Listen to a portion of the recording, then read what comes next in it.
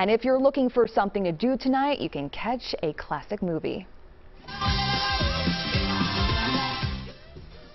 Select AMC theaters are showing the iconic movie Grease this weekend to honor Olivia Newton-John, who died last week. Tickets at the AMC theaters cost $5, and a portion of the proceeds will go to breast cancer research.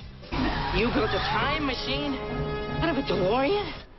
And at Peddler's Village, there is a showing of the 1985 comedy Back to the Future, starring Michael J. Fox and Christopher Lloyd. That starts around 8.30 tonight.